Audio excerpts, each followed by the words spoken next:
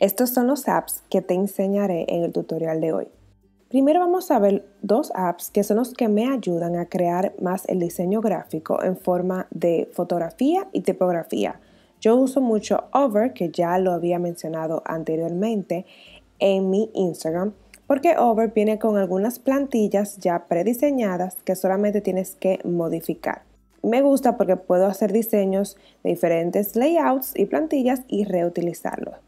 El único problema con Over es que solamente está disponible para iPhone, pero tiene muy buenas opciones en la eh, sección de templates y plantillas. Algunos son gratuitos, otros son de pago.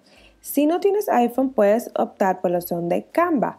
Canva también la había mencionado en otro tutorial y también en Instagram y es muy parecida a Over, pero te permite utilizarla tanto en el celular, iPhone o Android y también en la computadora. En la parte superior tienes todas las plantillas disponibles y está la opción de tu historia. Cuando eliges esta opción también puedes ver otras plantillas que puedes tomar como referencia y reutilizarlas.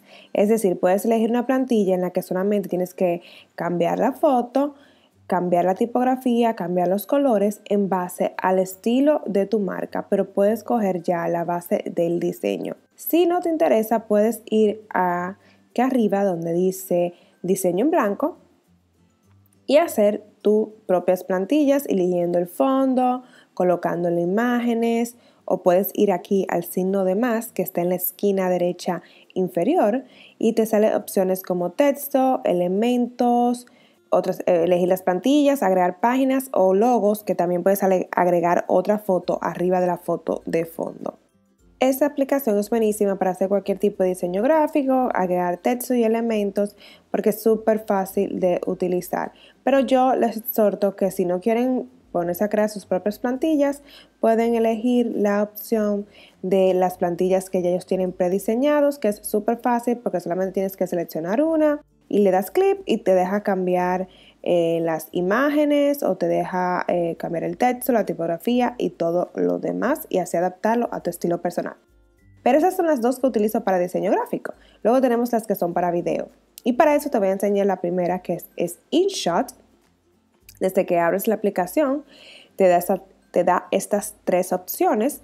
Yo elijo la opción de video, New, y luego aquí automáticamente te aparecen todos los videos que ya están en tu galería, eh, de tu, en tu rollo fotográfico. Entonces para esto vamos a elegir un video de esos videos que tengo aquí que podamos usar como ejemplo. Vamos a elegir este video. Y automáticamente ya me sale el video. Si te fijas, por defecto me sale el formato cuadrado uno a uno. Y para Instagram tenemos que cambiar el formato. Vamos a ir a la opción de Canva y en Canva vamos a elegir la opción 916, que es el tamaño de Instagram. Entonces, luego que estoy aquí en Canva, es que yo puedo modificar el tamaño de este video que yo he insertado. Para eso vamos a solamente a mover aquí esta barra o también puedes hacerlo con tus dos dedos, puedes pues ponerlo más pequeño o lo puedes poner más grande. También puedes mover el video por una esquina, derecha, cortar. Entonces, esto es mucho, esto es una herramienta que yo la uso mucho para hacer el fondeado, dejarle este borde en blanco o borde de color. Le das a OK y luego para agregar el borde de color solamente tienes que ir a la BG, Background, y puedes elegir cualquiera de los colores que están aquí, que tienen muchísimos colores, o puedes bajar y ver los patrones como estos ombre o algunos diseños. Esos diseños para mí son muy, muy llamativos para el estilo de mi marca, pero si alguno de esos te interesa, también puedes agregar tus propios diseños o tu propio fondo o puedes agregar una foto de fondo debajo de tu video.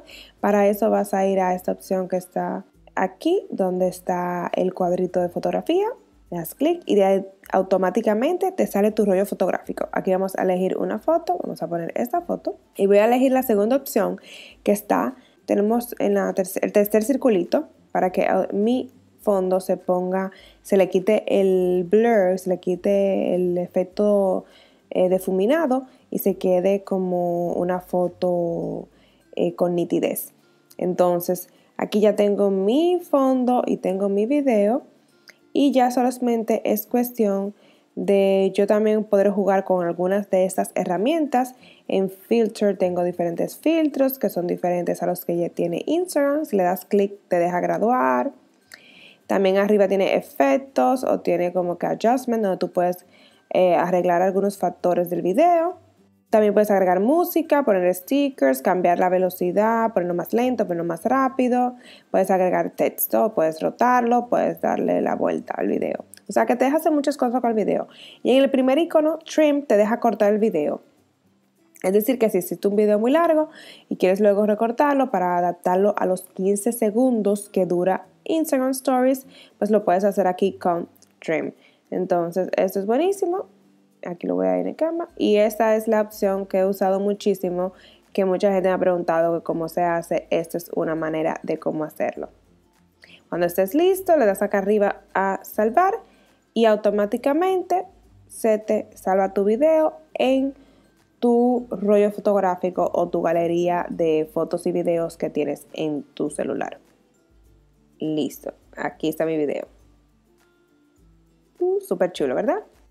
Luego volvamos aquí, tenemos la opción de OnFold. OnFold es otra aplicación que me deja hacer eh, tienen también plantillas para eh, instalar videos y fotografías. Voy a elegir la opción del signo de más acá arriba. Voy a crear un álbum. Voy a darle a crear. Y me sale esta página de modo edición.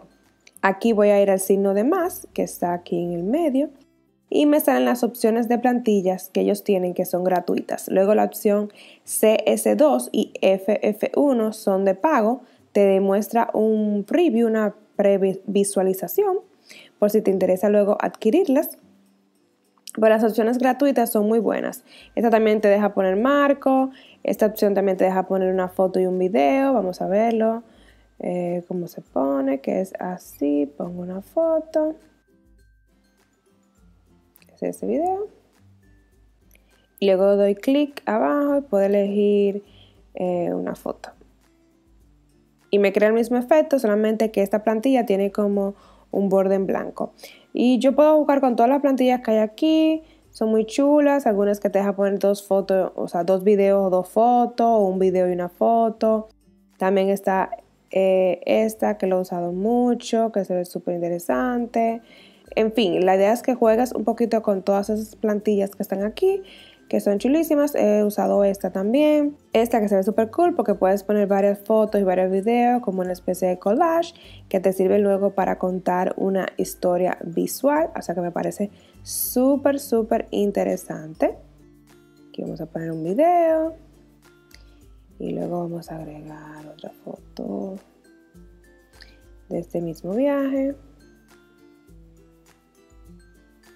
Y listo, ahí tengo. Puedo dejar estos dos fondos eh, vacíos y me va a quedar eso luego en blanco cuando lo salve. Le voy a dar al botón aquí de guardar y me deja guardar como que esa página o me deja guardar la historia completa porque yo con ese álbum que creé puedo hacer varias historias en conjunto y luego guardarlas todas juntas. O sea que me parece súper chulo para la productividad y para ser mucho más eficiente. Voy a darle la opción de salvar página para solamente guardar esta página que estoy visualizando ahora. Y listo, ya solamente es cuestión de ir y ver mi último video. Aquí, mira qué interesante. Super cool. Luego está este app que es Sketches, que es súper chulo porque como dice su nombre te deja hacer como bocetos, sketches, dibujos, súper cool. Entonces para esto, si te fijas, vas aquí donde está el, la felpa o el icono de un lapicero, de de un marcador. Y aquí puedes ver todas las brochas que ellos tienen, donde puedes hacer muchos diseños super cool y este es el efecto que yo he estado utilizando últimamente en mi Instagram Stories. Puedes ir aquí donde están los colores y elegir toda, toda la paleta de colores, los colores que te gusten. Em, luego aquí en el lado derecho puedes cambiarle el tamaño o la opacidad a la brocha. Y me lo encuentro súper divertido. Es diferente a las brochas que tiene Instagram Stories. Em, por lo cual me gusta muchísimo. Luego puedes borrarlo todo. También aquí puedes agregar una foto. Vamos aquí a importar una foto de nuestra galería. Aquí importe mi foto. le doy OK y luego con esto, con cualquiera de esas brochas, puedo comenzar a dibujar y hacer cualquier tipo de diseño que se ve súper cool. Así que este es mi secreto, el, el, que he guardado durante todo este tiempo que mucha gente me ha preguntado. Pues es esta aplicación que me deja hacer estos diferentes efectos. Tiene muchísimas brochas que hace que el diseño se vea muy interesante. Cuando estés listo, solamente vas a los tres puntos que está aquí arriba y luego le das al signo de exportar y le das a guardar foto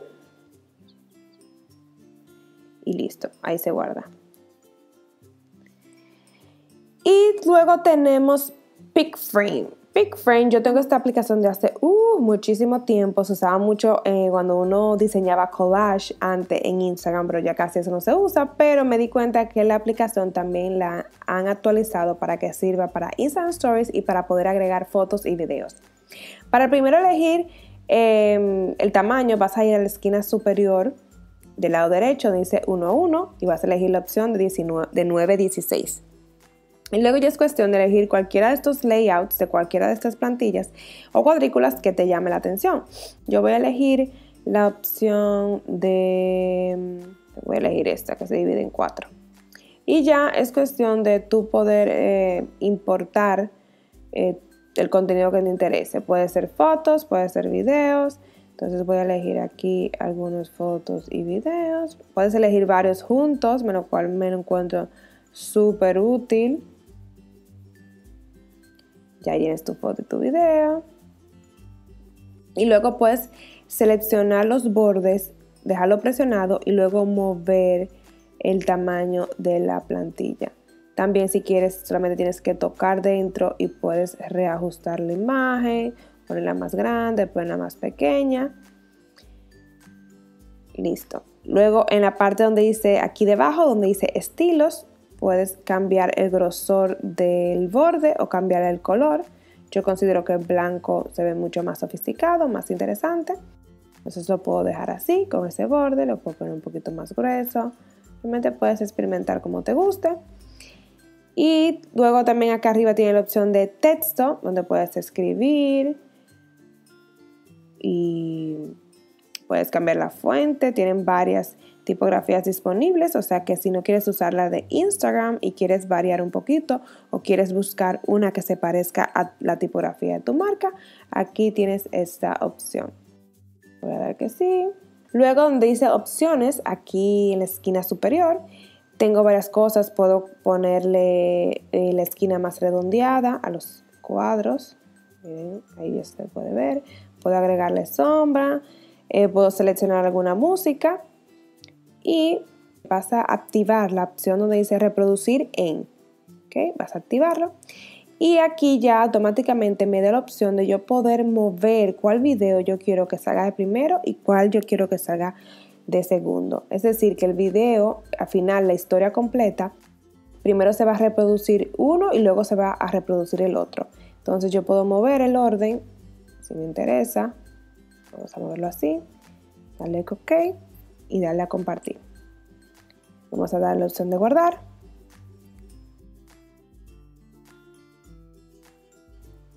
Ahora vamos a ir a nuestra galería de fotos y vamos a buscar nuestra foto aquí. Vamos a buscar el último video.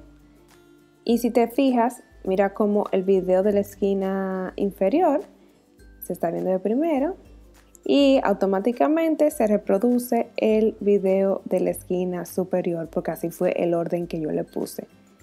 Solamente recuerda que eh, la historia completa debe durar 15 segundos para que así puedas eh, subirla en las historias de Instagram, porque ese eh, solamente Instagram te deja subir hasta 15 segundos. Entonces nada, esas fueron las seis aplicaciones que se quería enseñarte. Yo realmente las combino todas para crear mis historias en Instagram, o sea que no solamente es una, sino que yo hago eh, algún diseño en Canva o en Over y luego lo paso a InShot y luego lo subo arriba de Sketches o hago un diseño en Sketches y luego le paso a InShot. O sea que la idea es que conozcas estos apps y luego te diviertas y pongas tu creatividad en hacer todos los diseños que se te ocurran algún tip que te puedo dar es que trata de mantener un mismo estilo, que el estilo se parezca mucho al estilo de tu marca o el sentimiento que quieres darle. Em, nada, eso fue todo por hoy. Déjame saber si te gustó este video en la sección de los comentarios y si sabes de otras personas que le gustaría también este tutorial, no dudes en compartirlo. Nos vemos en una próxima ocasión. Chao.